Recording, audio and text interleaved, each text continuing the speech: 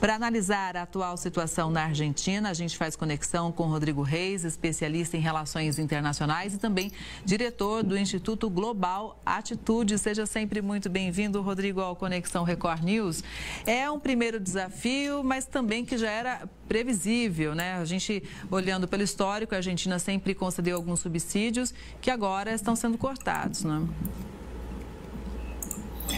É isso mesmo, Kelly. É, obrigado mais uma vez pelo convite. E a situação agora é uma situação né, do presidente Milley poder colocar em prática uh, a plataforma de governo no qual ele se elegeu.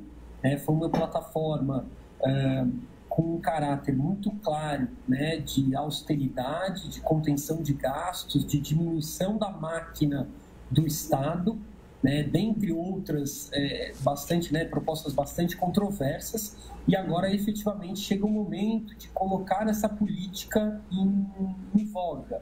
Né? Isso não é fácil, claramente não será um desafio fácil para ele, porque é basicamente mexer né, com benefícios e com uh, direitos adquiridos aí que, que são de décadas atrás. Né? Então, cortar trabalho, cortar, aumentar impostos, é, reduzir a máquina do Estado nunca é fácil para nenhum governante.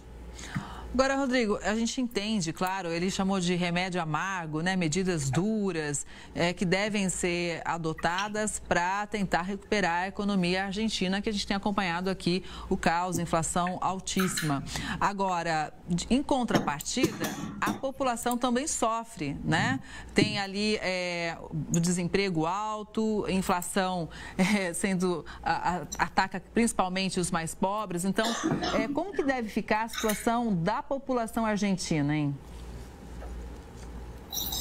É, a população ela fica num, numa situação muito delicada, né? Entre, logicamente, né, um governo que tem propostas audaciosas, que tem essas propostas muito é, controversas, e uma situação, uma realidade, né, principalmente de liquidez e, e aumento do peso, né, perdão, a diminuição do peso em relação ao dólar e uma inflação que é uma inflação recorde basicamente a cada mês. Né? A situação do público, da população, não é simples e ela vai ser fundamental. A opinião pública vai, de certa maneira, guiar muitas vezes e pressionar esse governo.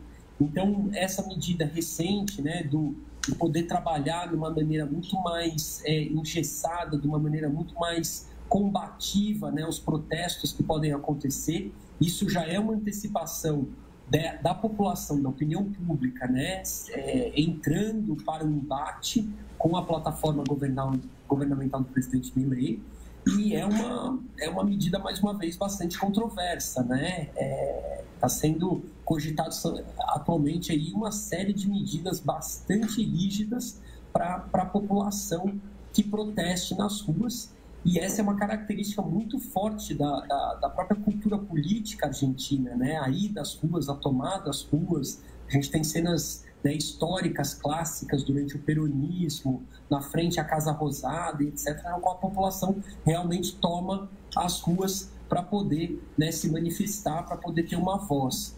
Uh, e isso está sendo agora de maneira né, muito, mais uma vez, muito forte, essa repressão que vai acontecer a, esse, a qualquer tipo de manifestação. Pois é, inclusive a principal deve acontecer logo mais, por volta das 4 horas da tarde. O que, que pode acontecer internamente se as medidas de é, evitar esses protestos, de contenção, vamos dizer assim, forem adotadas realmente, hein? Bom, acho que a gente tem alguns caminhos né, do que pode acontecer. Efetivamente, é, essas medidas elas vão prender muitas pessoas, vão, de certa maneira, judicializar e criar né, situações de polícia uh, constantemente com os protestos. Eu não vejo, não analiso a questão da cultura política, como a gente falou, daí das ruas, a tomada das ruas da população argentina, isso mudar. Né? Eu acho que isso é uma característica uh, histórica e bastante presente nos últimos mandatos. É algo que a gente vê permear né, décadas e décadas aí dos, dos governos argentinos. Então, existe um cenário de muito combate e possivelmente muita repressão, que é bastante preocupante caso ele se agrave. Né? E eu acho que, de um outro lado, talvez uma, uma possível flexibilização disso de alguma maneira. Né? Talvez o governo não vá realmente colocar em prática todas essas medidas que estão sendo aprovadas, que estão entrando em vigor. Vai depender muito do tato político né? e, e de como que mais uma vez, essa massa, a população como um todo, vai pressionar ou vai se posicionar frente às decisões aí, a plataforma é, de governo que o presidente Milei colocar nas, nas próximas semanas e meses. Né? eu acho que agora é um período muito crucial, Kelly. É, e até por isso, claro, a gente vai continuar acompanhando de perto aqui na Record News. Agora, Rodrigo, vamos falar um pouquinho dos Estados Unidos? Tem notícia chegando aqui. A Suprema Corte do Estado do Colorado decidiu que o ex-presidente americano Donald Trump está inelegível, ou seja, não poderia disputar a presidência. O tribunal entendeu que o republicano participou de uma insurreição contra a Constituição em 2021 e aceitou o argumento de que a 14ª emenda o desqualifica para participar das primárias republicanas no estado, hein? No estado. Até o momento a decisão é válida apenas para o Colorado, mas caso a Suprema Corte Americana confirme a tese, ela pode ser aplicada em todo o país. O ex-presidente Donald Trump nega as acusações e ainda, claro, pode recorrer dessa decisão. De qualquer forma, a gente já vê atenção em relação às primárias, hein? É, sem sombra de dúvida. Esse é um assunto, mais uma vez, né, bastante preocupante, porque as próximas eleições se aproximam. Né, estatísticas e termos aí de pesquisas, o presidente é, o ex-presidente Donald Trump tem muita chance né, de ganhar uma eleição caso é, ele realmente possa passar pelas primárias, ele se torne o candidato oficial né, do Partido Republicano dos Estados Unidos.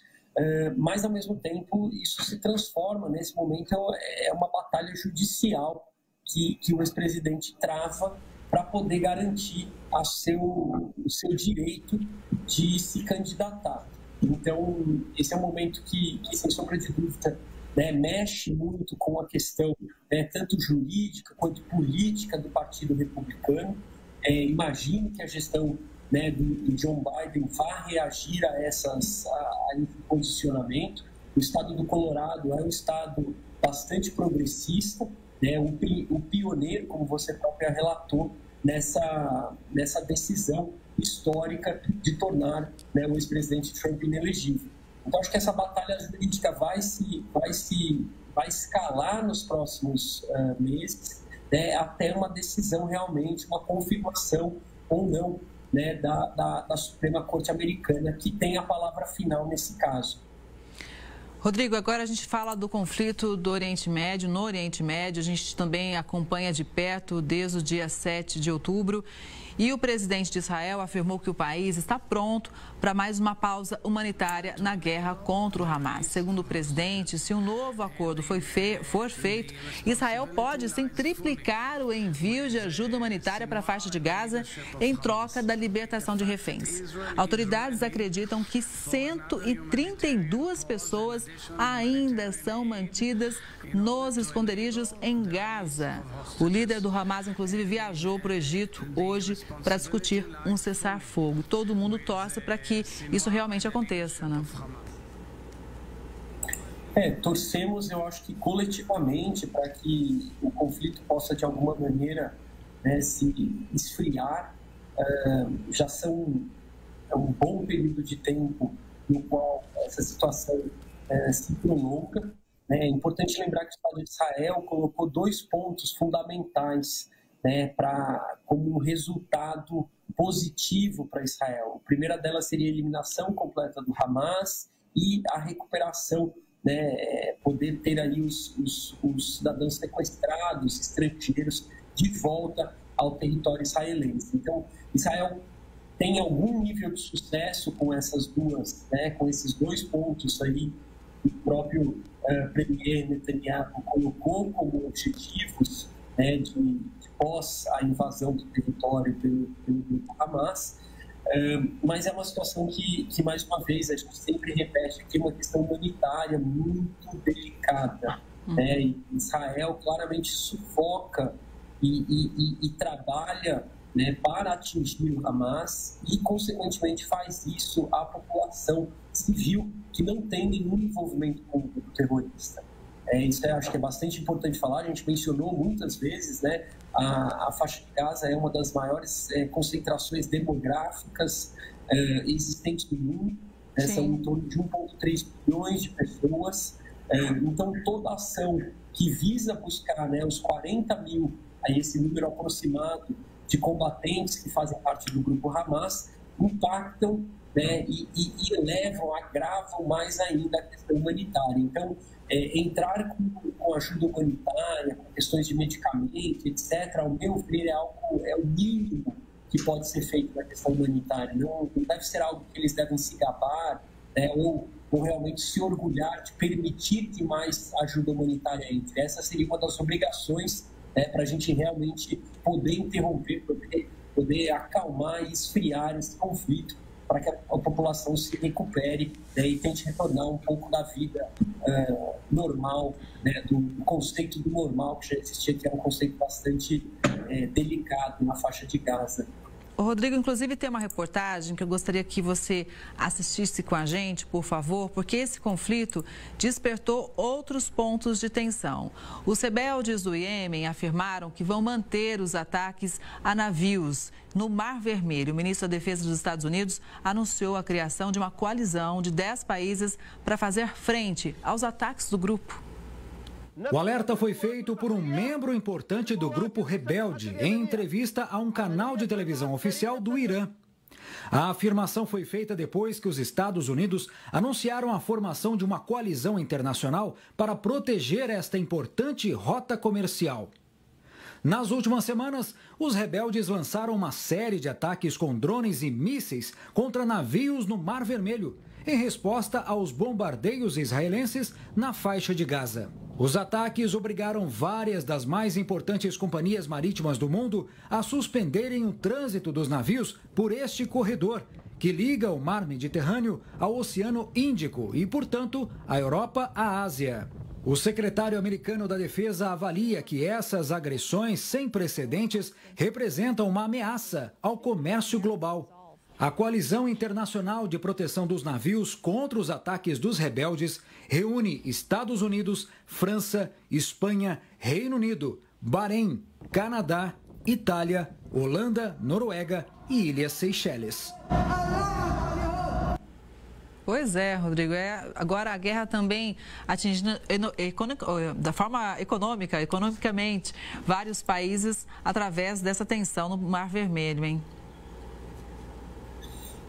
Exato, que ali essa, essa é uma escalada, né? é um, de certa maneira a, o conflito é, ele envolve atores regionais, né? Uhum. essa é uma escalada até certo ponto natural, esse transbordamento das questões né? que, que não se limitam somente às fronteiras é, do Estado palestino, do Estado de Israel, né, mas possuem desdobramentos na própria região. É bastante chocante essas cenas, né, elas, uh, essa invasão é, de navios, helicópteros, um, todo o aparato de guerra né, sendo uh, utilizado uh, para poder, né, de certa maneira, apoiar ou incomodar né, as nações ali, é, israelenses, Estado de Israel, Estados Unidos, entre outros aliados para poder buscar algum tipo de recapitulação, né, no sentido da posição que está sendo tomada em apoio ao Estado de Israel.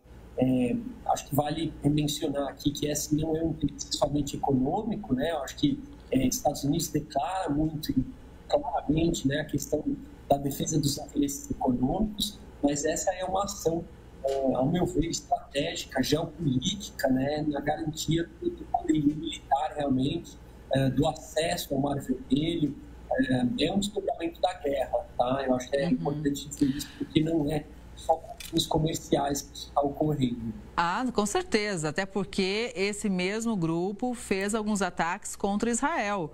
E, e, naquele momento foi dito, é um apoio ao Hamas, né, ao conflito que acontecia ali na faixa de Gaza. Então, esses ataques consequência, são consequência, obviamente, do conflito que começou em 7 de outubro, né, Rodrigo? Sem dúvida, sem dúvida.